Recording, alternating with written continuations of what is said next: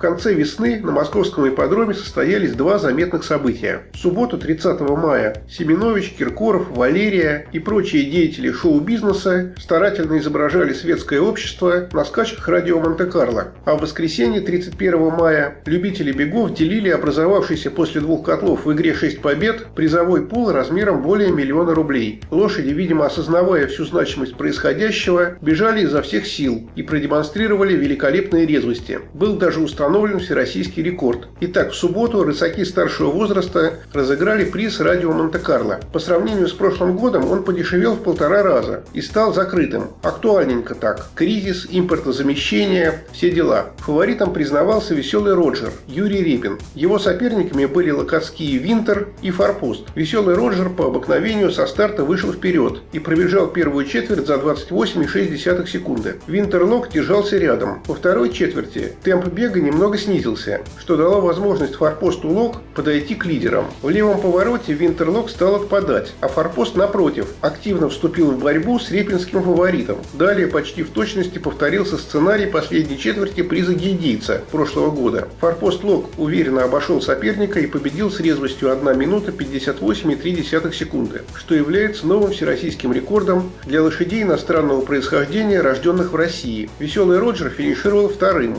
на полкорпуса сзади, Винтерлок третий. Далее орловцы четырех лет боролись за право участия в призе Барса. Пропуском в Орловское дерби является резвость, показанная в текущем году. Фаворит победит под управлением Тимирбулата Тунгатарова одержал легкую победу 2 минуты 7,9 секунды. Лепняк отстал на одну десятую. Резво пробежали в следующем заезде лошади трех лет. Все ждали соперничества за победу двух американцев – Стирлинг Динамо, Юрий Репин и Кинг Тута, Владимир Пупко. Стирлинг Динамо уверенно возглавлял бег, преодолевая четверти примерно за 30 секунд. Кинг Тут старался не отставать, но у этого жеребца проблема. Повороты он проходит далекими полями. Если из правого виража он смог выйти почти рядом с лидером, то проходя левый поворот, Кинг Тут значительно отстал и отказался от борьбы. Но самое интересное в этом заезде было то, что всю дистанцию в спине у Стирлинг Динамо удерживался Пабло, Руслан Киселев. На финише он выглядел очень достойно и показал удивительные секунды – 2 минуты 0,02,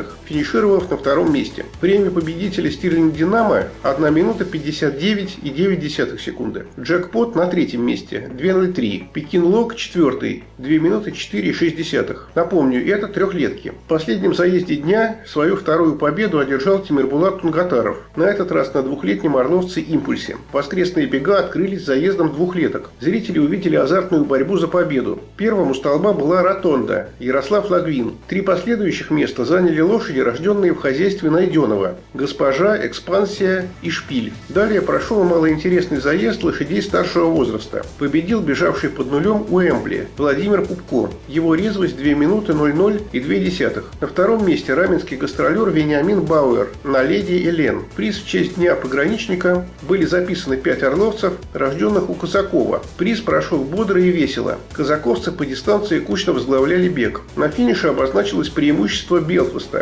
Александр Плесер, который и победил с резвостью 2 минуты 8,4 секунды, опередив на пол головы Султана Ярослав Лагвин. Далее начались страдания, связанные с дележкой миллионного пула в игре 6 побед. В четвертом заезде снова вышли на старт трехлетние орловцы, но другие, к Казакову и пограничникам отношения не имевшие. Оказалось, что резво бегать могут орловцы, рожденные в других хозяйствах. Фаворитами игрались Забег Елена Чефранова, Динамит Денис Николин и Моя память Виктор Бурулев. Они и боролись за первое место по всей дистанции. Лучшей оказалась сбросившая 6 секунд Моя память. Ее резвость 2 минуты 9,9 секунды. Динамит второй, Забег третий. Недавно в тренотделении Михаила Владимировича Козлова был определен победитель. Это кличка жеребца, принадлежащего Василию Панченко. На этот раз победитель полностью оправдал свое наименование. Бороться с девятикратным дербистом никто не решился. На втором месте француженка Балио Бонд под управлением Олега Припадчева. В двух последующих заездах на удивление легко победил Андрей Вилкин. Сначала он финишировал первым на Манхэттене Лок, который опередил Афину под управлением Болстрина. А затем Андрей одержал первую победу на американце Дью Овере с хорошей резвостью 2 минуты 6,6 секунды. Дью Овер лидировал по всей дистанции. Соперники в почтительном отдалении боролись за оставшиеся призовые места. Далее высокую резвость продемонстрировали двухлетки, рожденные в Локотском конном заводе. Победил Семен Пупко на уловке Лок 2 минуты 14 14,2. На втором месте Юлия Дробышевская на Чезане Лог. Обе лошади сбросили по 15-20 секунд. И вновь со всей очевидностью встает вопрос о несоответствии применяемого на ЦМИ стандарта резвости современному классу лошадей. Так прошли 5 заездов игры 6 побед. Никаких чудес не случилось. А крупные выдачи, и тем более котле, можно было забыть. В девятом заезде состязались орловцы старшего возраста. Победил Заветный под управлением Сергея Матвеева, снова напомнивший о своем классе.